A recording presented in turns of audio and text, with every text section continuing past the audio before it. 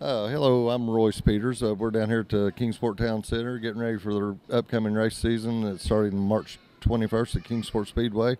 Um, I'm the driver of the number 48 Street Stock owned by Paul Schull. Um, uh, we've got uh, Thompson Electric as sponsor and Bloomingdale Car Care. And anyway, hopefully everybody will come out and watch us run this year. We're going to try to go for the championship.